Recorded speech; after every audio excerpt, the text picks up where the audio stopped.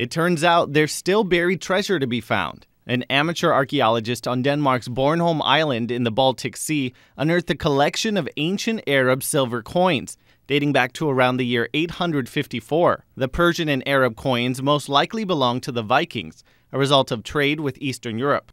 Found under the floor of a home in an early Viking era settlement, they've since been moved to a local museum.